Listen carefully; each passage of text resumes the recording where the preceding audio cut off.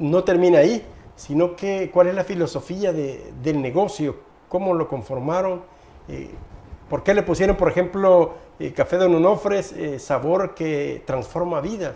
¿Cuál es la filosofía también de la empresa, del negocio y del, trabajo? fíjese que qué linda pregunta la que me hace este Luisito.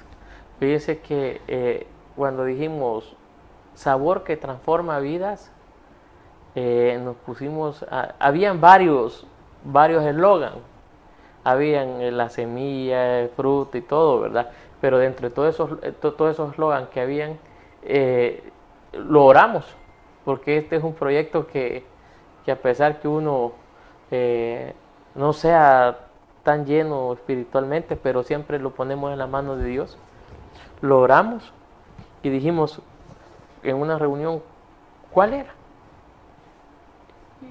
Y nos fuimos y pasamos orando y, dijo sabor que transforma vidas. ¿Y por qué sabor que transforma vidas, Café Don Onofre? Primeramente eh, queremos llegar a lo que es eh, por mi persona, ¿verdad? Mi persona, transformar vidas. Primero, transformarse uno espiritualmente. Luego de eso, transformar vidas. Transformar vidas eh, nuevamente en eso, de, de que estábamos dormidos, me desperté una madrugada y, me, y, en esa madrugada hubo ese mensaje de Dios, siempre de Dios, que teníamos que transformar vidas. Si teníamos que transformar vidas, tenía que buscar esas personas que transformaran sus vidas.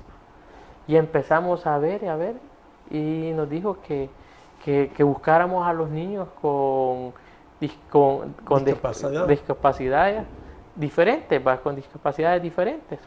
Y dentro de eso, eh, dentro de este proyecto, están las personas que, son con autismo, ¿verdad? Síndrome de Down, eh, hidrocefalia, ¿verdad? Tenemos hidrocefalia. Eh, personas, hay algunas personas adultas mayores que también colaboran. Y todos ellos son colaboradores, no que tengan una plaza fija, ¿verdad? Sino que son colaboradores, ¿verdad? De este, de este emprendimiento.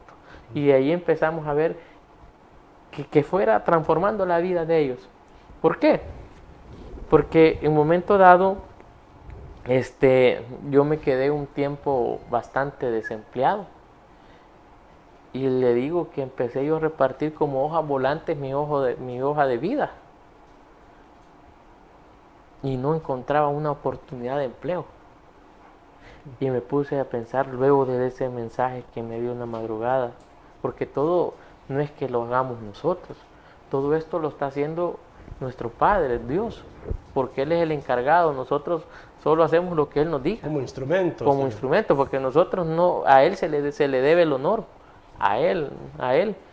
Y, y luego de eso este, empezamos a ver, y empezamos a ver qué es lo que... Y empezamos a ver a los, yo le digo niños a ellos, empezamos a ver a los niños que fueron transformando sus vidas. Ya no eran aquellos que estaban encerrados, que los tenían aislados, ya a ellos se les daba una oportunidad y se les reconocía.